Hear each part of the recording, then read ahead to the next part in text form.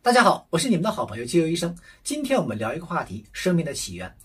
一提生命的起源呢，这就是一个哲学话题了。我们从哪里来，一直是一个永恒的一个话题。所有的科学家都想知道，我们离了解地上生命最啊最初是如何发展这个而来的，又近了这么一步。科学家们普遍认为，生命是呢温泉是在温泉中形成的，但是不确定。这个细胞是如何变得更加复杂，以帮助进化成我们今天所知的生命体？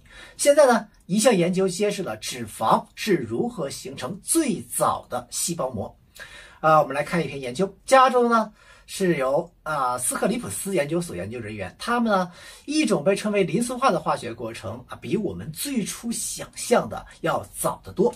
磷酸化呢是我们身上一个非常常见的一个化学过程，但是呢，呃，非常的常见，但是在三十五亿年前或者四十亿年前，你觉得这个过程常见吗？啊，它并非偶然。磷酸化是将包括磷原子集团添加到分子的过程，这有助于将成为原细胞的脂肪转化为更进化的脂肪。啊，使其变得更通用、更稳定、更具有化学活性。这些原细胞被认为是三十五亿年前基础生物化学的组成部分。这一发现有助于我们更好地了解什么呀？早期地球的化学环境，从而揭示生命的起源以及生命如何在早期地球上是进行的。研究人员认为，由于磷酸化在全身如此的普遍，这一过程一定与原细胞形成的早期阶段有关。